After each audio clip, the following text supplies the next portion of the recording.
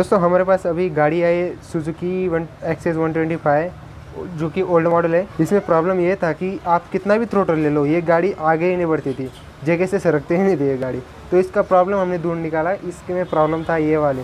ये जो थ्रेड्स आते हैं, ये यहाँ पे जैसे हम ड्रम में फंसाते हैं उसको तो यही पूरे तरीके से घिस चुके थे। जब हम थ्रोटल लेते थे वो जगह पर ही घूमते थे ये।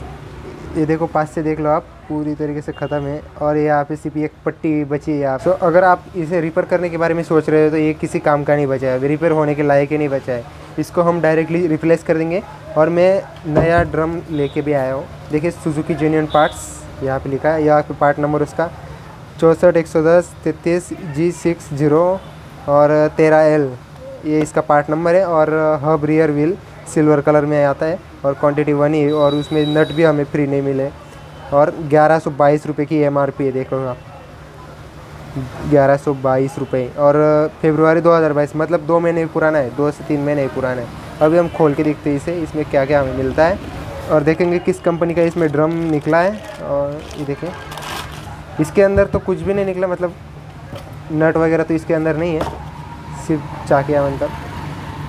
यहाँ पे अरे यार। ए एस के का निकला है यहाँ पे भाई, ये देखो ए एस के यहाँ पे दिखा हुआ है।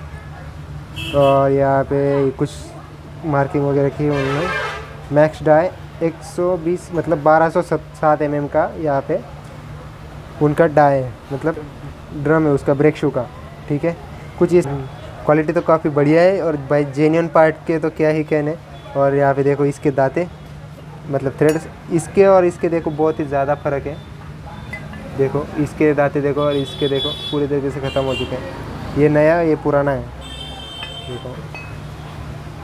और क्वालिटी दोनों की सेम ही है। मतलब ये भी जेन्यून है और ये भी जेन्यून है। यहाँ पे भी ये है कि सुजुकी यहाँ पे लिखा है। सुजुकी का लोगो यहाँ पे। और क्वालिटी तो बहुत अच्छी है और इसको फटाफट हम गाड़ी में फिट करते हैं। वीडियो अच्छा लगे तो लाइक ज़रूर से कर लेना। इसी तरीके से इंटरेस्टिंग टॉपिक्स देखने के लिए और चैनल को सब्सक्राइब भी कर लो।